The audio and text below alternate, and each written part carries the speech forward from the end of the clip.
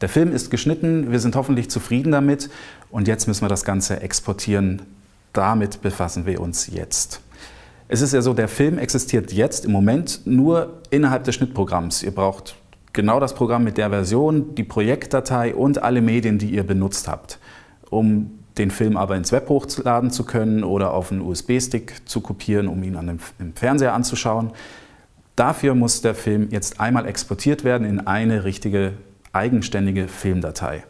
Das kann ein bisschen kompliziert werden, denn da gibt es viele Parameter, die zu beachten sind. Zum einen, wie groß das Bild ist, dann auch, welche Dateiendung am Ende dran stehen soll. Da gibt es verschiedene, MOV, AVI, MPEG, MP4. Und da wird es auch schon sehr kompliziert, denn ähm, viele der Dateien sind auch nur Containerdateien, das heißt, innen drin steckt da noch was anderes. Damit beschäftigen wir uns aber jetzt hier nicht so ausführlich. Wir benutzen die einfach und alles ist gut. Eine Sache, die auch noch wichtig ist, ist der Codec. Der sagt, wie aus ganz viel Bild- und Tonmaterial eine kleine Datei wird. Den stellen wir nachher auch gleich ein, aber das schauen wir uns am besten direkt im Schnittprogramm an. Ich habe jetzt hier meinen geschnittenen Film momentan nur gespeichert als Projektdatei innerhalb des Schnittprogrammes, in dem Fall Premiere Elements 13. Jetzt möchte ich das Ganze aber noch abspeichern als MP4, damit ich es zum Beispiel verschicken kann, ins Web laden kann und so weiter. Ich suche eigentlich die Funktion exportieren. Das gibt es in dem Programm jetzt so nicht, sondern es heißt veröffentlichen und freigeben. Da wähle ich Computer. Das ist wirklich in allen Programmen ein bisschen unterschiedlich. Wichtig ist aber, dass ihr euch nicht täuschen lässt von diesen Voreinstellungen. Hier gibt es zig verschiedenste. Was wir brauchen, ist ein MP4 am Ende. Hier weiß ich jetzt, in diesem Programm nehme ich das als AVC HD, denn da kommt ein MP4 hinten raus. Steht hier auch bei den Vorgaben. Ich wähle mal diese hier und gehe dann immer in erweiterte Einstellungen. Und diese Einstellung könnt ihr wirklich in jedem Programm machen. Sieht dann halt ein bisschen anders aus, aber die Zahlen und die Werte entsprechend sind die gleichen, die wir brauchen. Vorgabe interessiert uns hier jetzt alles erstmal nicht. Ich check nur, dass Video exportiert wird und Audio auch zusammen. Hier ist eine Zusammenfassung, die schaue ich mir später nochmal an. Ich will ein Video, das große HD-Formate hat, nämlich 1920 x 1080. Wenn ihr das ein bisschen kleiner haben wollt, könnt ihr hier zum Beispiel angeben 1280 x 27. Macht er hier automatisch die 27, weil das hier verkettet ist. Framerate heißt Bildrate, 25 ist richtig. Ich habe ja auch mit 25 Bildern pro Sekunde gedreht. NTSC wäre hier falsch, dann würde mir das hier auch wieder alles verstellen. Wir wollen PAL, muss ich wieder umstellen. Und da oben hat sich auch was geändert. Muss ich auch wieder zurückstellen. So.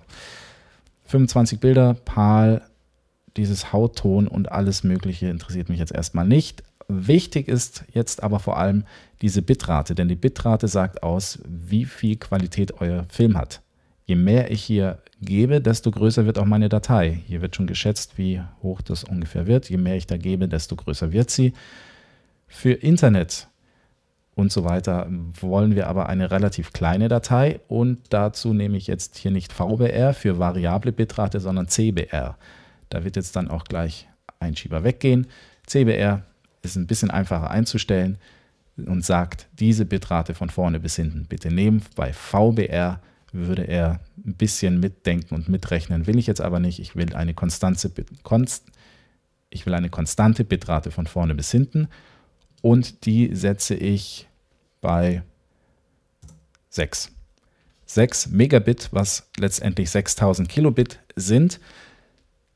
HD fängt an im Web bei allen Plattformen so ab 5 Megabit, also 5000 Kilobits.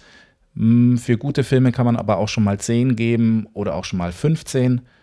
Ich nehme jetzt hier mal 6, weil das ist ja ein Übungsfilm. Der soll nicht ganz so groß werden. Wird um die 34 Megabyte wahrscheinlich groß werden am Ende für meine knapp 50 Sekunden. Wird hier auch nochmal angezeigt, wie lang der Film dann ist.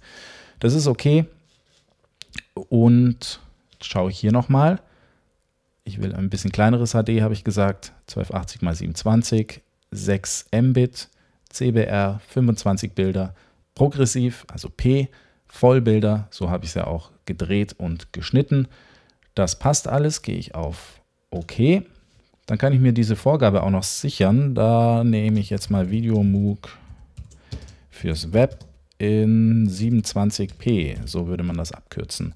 Man nimmt immer die hintere Zahl. Wenn ich 1920 mal 1080 genommen hätte, hätte ich hier 1080p eingetragen.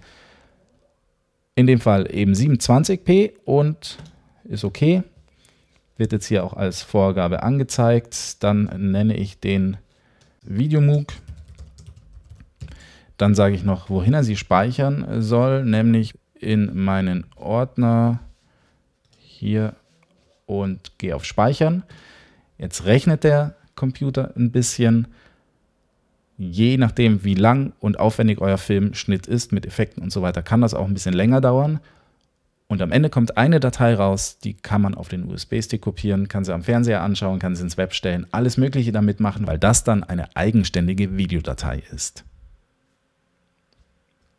So, fertig. Jetzt schaue ich sie mir mal an, die Datei. Hier habe ich sie abgespeichert, hier liegt sie. Das ist mein fertig geschnittener Film aus dem Schnittprogramm exportiert als MP4-Datei.